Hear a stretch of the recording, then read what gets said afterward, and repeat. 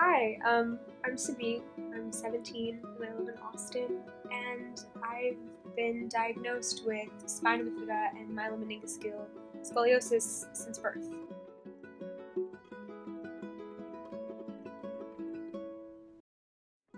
So I've been dealing with this every single day of my life. There's not been a day that's gone by where I forget that I have this, but um, I've become accustomed to it. I've learned to grow with it, and then very recently, about in beginning of junior year, I started having really severe pain just in my back and in my shoulders, and I wasn't able to walk as much as I wanted to. Recently in January, I decided that I really wanted to go out with my friends because I was just having a great day, and we were just walking around downtown really late at night, and they were a little bit worried, and so I said, just go walk ahead of me. I'll be fine. I'll walk at my own pace, and a few minutes later, they realized that they wouldn't didn't hear me behind them anymore, and they turned around, and I was on the ground, and it was really surreal because it was the first time I had ever collapsed in front of people. My body wasn't healthy, my mind wasn't healthy, my emotions weren't healthy, and none of my relationships were healthy.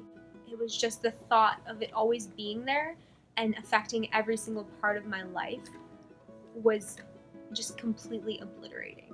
I think it wasn't until she moved here that she really talked to people about how she is and what's wrong, and she still is just so positive all of the time.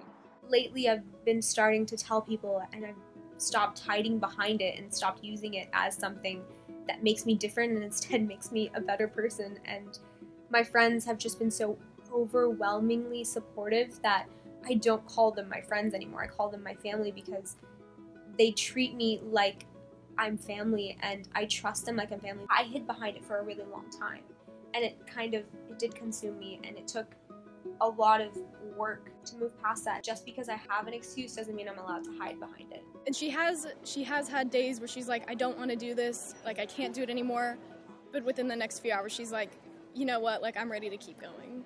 Like I, I'm truly ready to keep persevering through everything. She's really an inspiration. It's inspired me to do what I want to do and to the best ability that I can, regardless of what's going on in other sectors of my life. And if I'm going through a hard time, to still not let that stop my goal and not make it so I can't achieve that. I knew that I had a choice of whether to let something like this become my entire life or whether to let it empower me and to drive me forward. She doesn't see this whole like everything going on with her health problems and her surgery and everything that she's had to go through. She doesn't see it as like making her different from other people. She's doing everything she can for herself so she can have the best future that she can. Every single day I still have to make that choice. I still have to choose to get up instead of calling my nurse to give me more pain medication. I still have to smile when my friends come in the room instead of crying because those are the minute by minute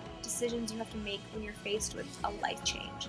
It's not just you make this one decision where, okay, I'm gonna do this. It's every single moment and every single decision you make is different now because of one thing. She has so many like so many battles she fights. And now being home and homeschooled, she's choosing to be homeschooled. She could just quit and like take a break for this year. She could be done and have to retake things next year, but she's continuing to go out and try out for acting things and pursue what she really wants to. Once she finally decided to open up to us and, and tell us what was going on, that it, it, got a lot better for her and she could finally talk about these issues and, and the pain and it, it, helped relieve it a little bit and so she could keep going forward. And just everything she does for herself, for her friends, she's the most selfless person I know. She is always thinking about everyone else. Even like while being in the hospital, she's continuing to like talk about how she's excited for her acting things and she just keeps looking ahead for the next thing, not what's holding her back in the moment. This isn't going to stop her. Like going to school for what she wants to go to school for and eventually getting a job in what she wants to get a job in. And I think that's incredible. I wish I had that much confidence in what I was doing.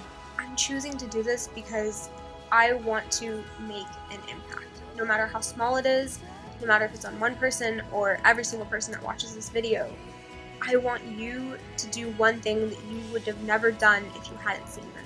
Because I know that there's a lot of things that I would have never done before having gone through this. I would have never opened myself up. I would have never thought that acting could be something that I could do with my life, looking and being in the body that I was born with. seeing people walk into this room smiling when I'm in pain makes everything so much more worth it. There's always a brighter side. Every day is a new day, and every day she looks to get better. The way she still wants to at least try and wants to just continue to do life, and she really doesn't give up. There's just so much to her. There's so much to get to know and to learn from her. Really, no matter her, where she is in life, she's still continuing to persevere through everything, and I think other people can really take a leaf out of her book from that. Think about yourself and be selfish and, and keep the people who are helping you and carrying you further and, and keep the things that are helping you and carrying you further and, and open up to those people and, talk to them about your problems. If I can give one piece of advice and tell you one thing, it's to learn to love every single part of yourself.